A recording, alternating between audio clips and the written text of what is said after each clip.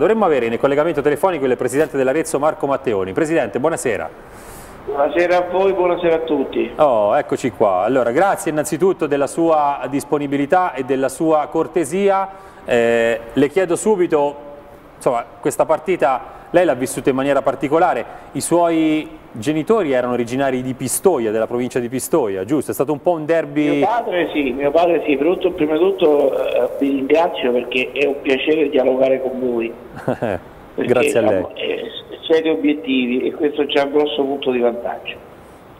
No, mio padre era della provincia di Pistoia, però ho vissuto questa partita con estrema trepidazione perché ero preoccupato ovviamente dei, dei nuovi innesti, delle persone che stanno diciamo, a bordo campo per adesso e mi pare che la partita è stata molto buona. Abbiamo un ottimo condottiero che il buon Pavanel che sta tenendo la baracca dritta insomma.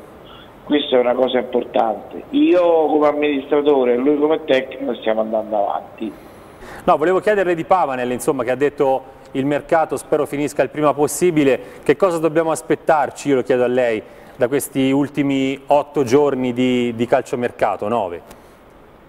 Ma eh, quello che ci dobbiamo aspettare è che venga puntellata la squadra.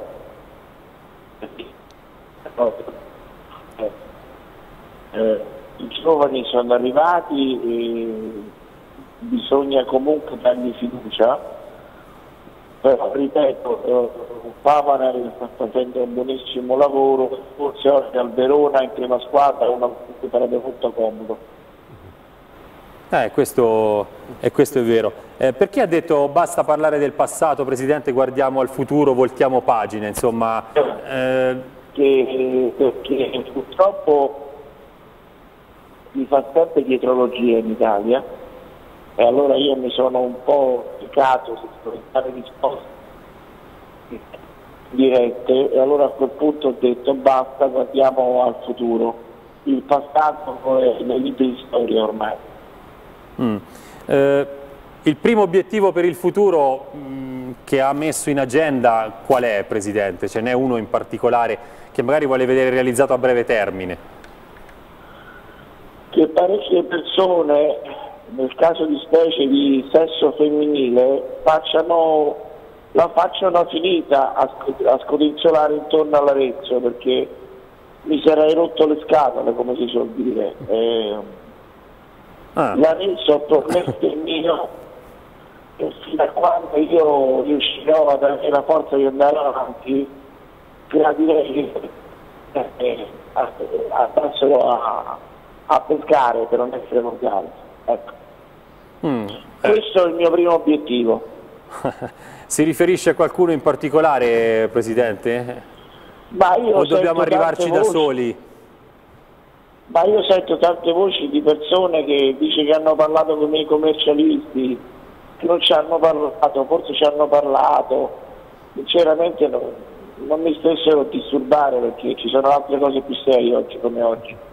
Oh. I miei commercialisti li conosco molto bene e fortunatamente non sono mai stati contattati da nessuno. Ok, qui in studio abbiamo anche Fausto Sarrini che è il collega della Nazione, non so se hai una domanda da rivolgere al Presidente Fausto. Ti ciao, ascolto. Ciao Presidente, buonasera. Eh, ciao Fausto. Ciao, eh, volevo chiedere se da qui alla fine stagione, no? Il, eh. qual è la preoccupazione maggiore e invece qual è la speranza maggiore? Ma guarda la speranza maggiore, eh, io ho un sogno che vi trasferisco. Vorrei, eh, salvando prezzo prima del previsto, insomma, garantendosi quindi la tranquillità, vorrei fare una festa allo stadio e mutuare mh, le, le, feste che fanno i 5 Stelle, i Vaffa Perché quel giorno il presidente dell'Arezzo, se sarà ancora vivo come mi auguro, eh, ce l'avrà per tante persone, che le farà un baffa day apposta. Beh, sarebbe perché una bella, una bella esperienza. Sarebbe una bella esperienza anche quella. Raffaello, hai anche tu una domanda da rivolgere al Presidente? Raffaello Emiliani, per lei Presidente. Buonasera Presidente. Niente, ecco. del mercato è inutile parlarne perché molto probabilmente ci penseranno forse più Zavaglia di Iorio, almeno questo penso. Ora ha risposto qual è la, la, la, la, prima parte della domanda di Fausto, le vorrei rifare la seconda domanda, questo è, la, è quello che si aspetta alla fine, ma la sua preoccupazione più grande in questo momento? La mia preoccupazione più grande è di... il problema fondamentale è noi abbiamo un obiettivo oggi come oggi, salvare i conti di Varezzo e salvare Varezzo. Okay? Io non parlo più di cifre perché non ne voglio più parlare.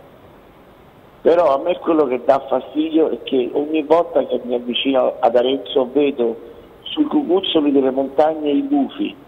Questo mi dà molto fastidio, perché quello che io ripeto sempre, in maniera anche ossessiva e me ne scuso, che oggi se non fossimo intervenuti noi tutti, io, eh, Pianeta Maranto eh, o chi che sia, oggi si parlerebbe di una squadra che ricomincia dall'ultima serie.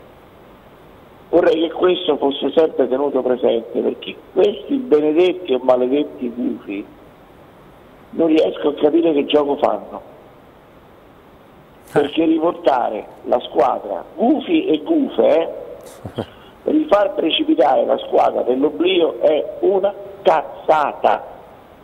Oggi come oggi eh, su questo credo che no, credo anche questo che siamo tutti d'accordo. abbiamo chiaro non ho fatto nomi, cognomi per cui non mi, non mi interessa più. Però quello che torno a dire è che questa gente invece di rimboccarsi le maniche, sta lì a aspettare non so che cosa e non so chi. Eh, speriamo che non ottengano quello che, che, che vogliono eh, da questo punto di vista, Presidente.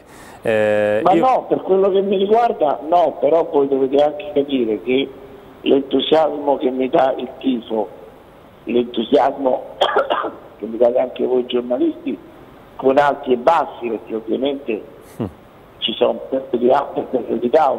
Beh, fa parte del gioco questo, no? E, e, quello che sinceramente non riesco a capire è perché questo accadimento contro la rete. Non riesco a capirlo. Personaggi improbabili, improponibili che vanno dicendo peste e corna su di me o, o che, che, sono in trattative con me. Cioè, questo disturba, cari signori, questo disturba perché i soldi non è che io, voi li rubiamo e quindi quando abbiamo deciso di investire in questa avventura, io e il mio gruppo, abbiamo trovato tanta gente che ci vuole bene, ma tanta gente che sta provando a fare il furbo e questo dà fastidio. Scusatemi per lo sfogo. Eh.